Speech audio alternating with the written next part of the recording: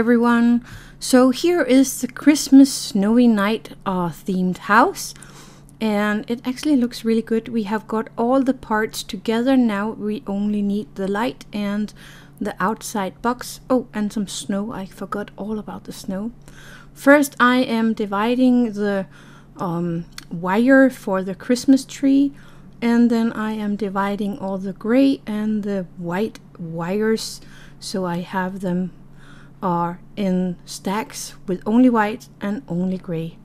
I'm using this shrink tube and placing all the white, white wires, including one of the wires from the Christmas tree into this little bundle here, just like that. And I'm doing the same on the other side with all the gray wires and one of the Christmas trees wires wires so that they all are in the tube over here. So I have a tube with only white and a tube with only gray, gray wires.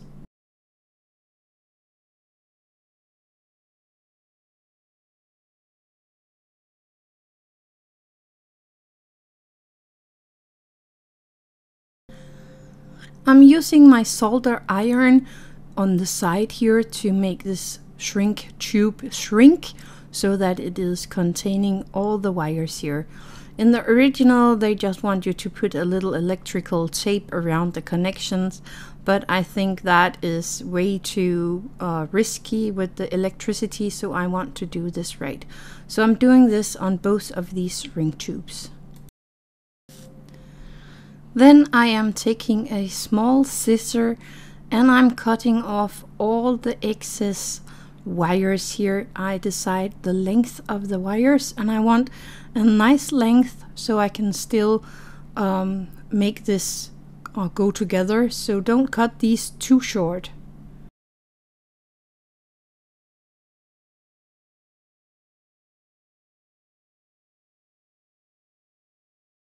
I took off the isolation of the white wires and the gray wires and here I am connecting the red one with the white wires all of them together. And then I am going to solder everything together. After that I am connecting all the gray wires with the black wires and soldering that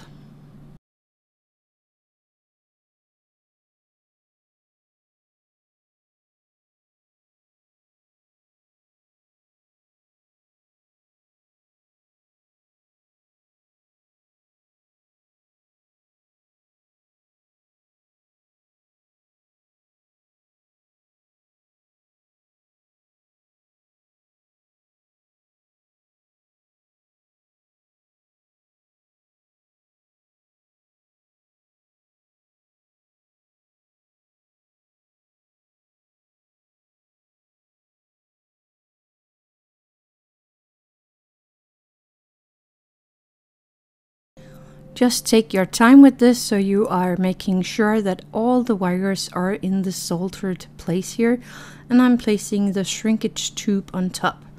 I did it with the other cord here and now I'm trying out that everything is working. Sadly, I found out too late that the two wires from the Christmas tree also had to be sitting in a specific way, so I had to take it all apart and putting it back together, but I did not want to bother you with this problem as it is just still done as I showed you before. So I'm just shrinking, shrinking the heat shrinking tube here around the soldered place to make sure that everything is going to stay in place afterwards. And now the light is working, but I will just make sure that everything is all done before we play around with the light.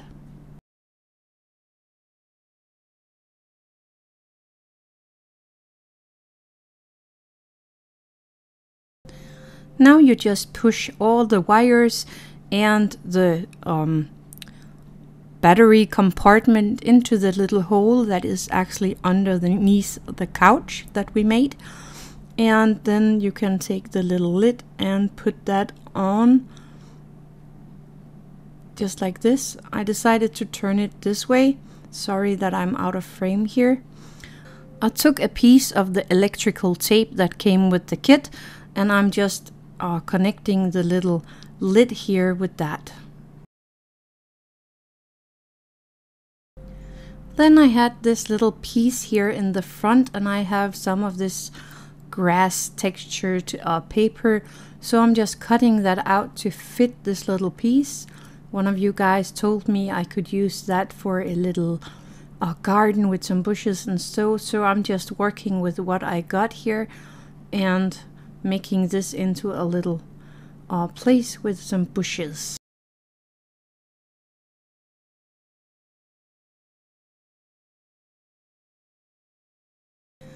I have these small uh, of grass that is from uh, some train company thingy, also miniature, and I'm just using them as small bushes here. So I'm taking one by one and gluing them onto the grass, just like you see me do here. Now to the snow. I had this snow powder at home and it is mixed with a tiny bit of glitter and I like that a little better than the ones that came with the kit, but I will save the kit's snow for another time.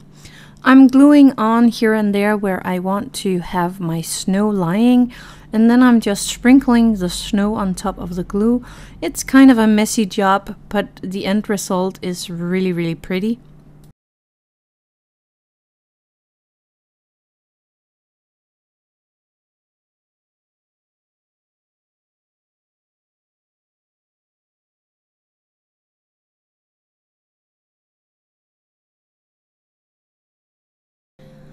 And I am placing the snow here and there where I think that it might be uh, bundling up on a house like this.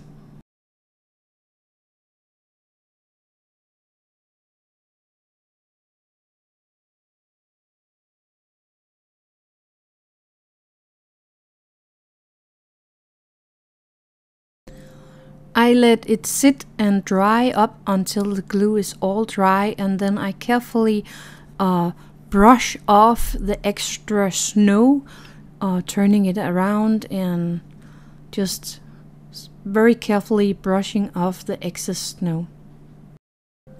Now it is time for the box that is going over the whole thing and that is made from five of these plastic pieces and this paper is on both sides of these plastic pieces and as you can see it's actually quite hard to get this off so I'm just showing you one of these and then I'm doing the rest off camera.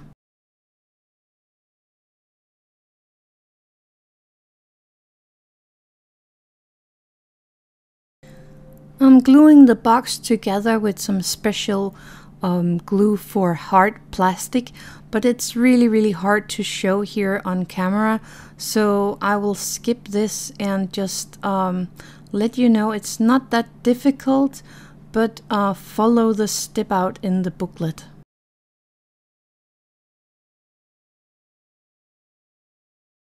Here is the all done result of the uh, Christmas snowy night scene. I'm sorry for the blurry um, pictures here. My camera wouldn't uh, go sharp on this. I don't know why, but it would not work with me. Um, but here is some footage of the house without the box on top of it. And let us go and turn on the light to see together how that looks. Here we go. One, two, three. And there we go. The light is on. It is really, really, really, really pretty with the light on. Looks so amazing. The box uh, for the outside is supposed to stand on top without being glued down, but I made uh, the wire go out under the box lid and put the box for the wires uh, for the electrical, the battery box on the lid and I actually glued on the lid. I will show you a few pictures here in the end of that. But here it is all lit up and I think it turned out so so pretty. So, thank you everyone for joining me in this process. It has been fun, and I hope you liked it as well. Happy crafting.